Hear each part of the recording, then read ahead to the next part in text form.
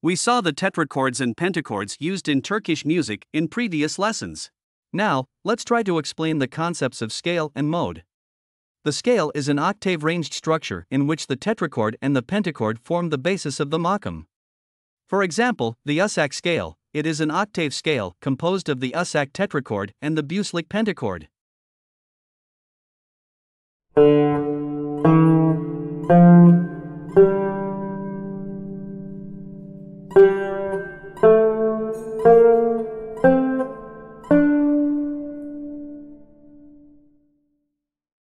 Scales can be constructed with a tetrachord above a pentachord as well as a pentachord above a tetrachord.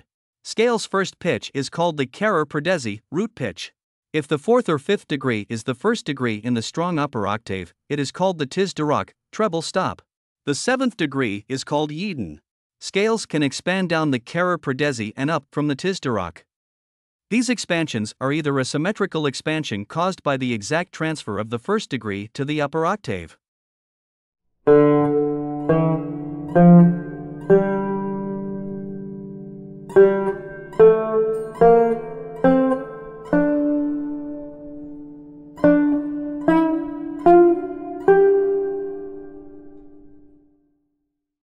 the expansion made above the tiz durak and down the karar perdesi to form a new scale.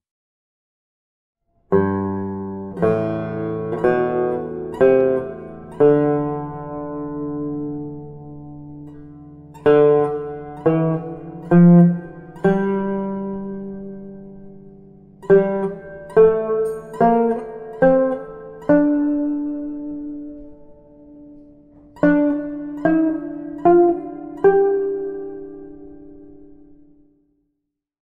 pitches will play an important role in the seyir progression, literally course, we will talk about in the next topic.